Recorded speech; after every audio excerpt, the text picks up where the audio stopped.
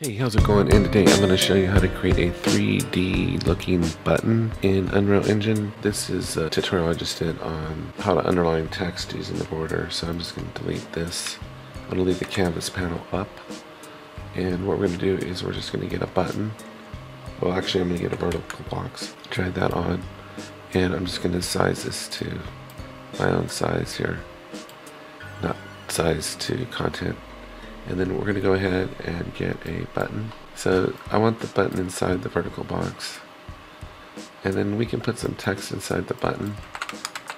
So let's just put do that. And so, and it doesn't have to say anything special, but 3D look. Now once we got this all set up, we're going to go and get a border and I find these exceptionally handy to use. So what we're going to do is drag down here and put it just above the button. And this is kind of the next one. This is the, the trick. And well, we can actually just duplicate this one. Hit Control D. And the great thing about these borders is you don't have to use spacers. You can just use padding. But anyway, I'm going to drag this on the other side of the button. I have to close the button to do that.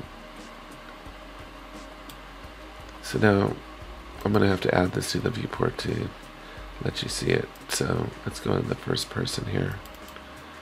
And let's just add it to the, just add it over here real fast. Create widget.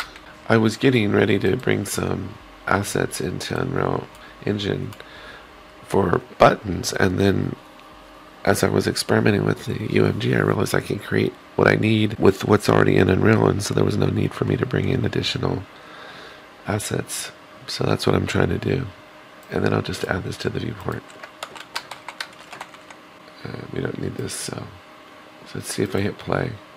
So we have this button, that's the way it looks right now.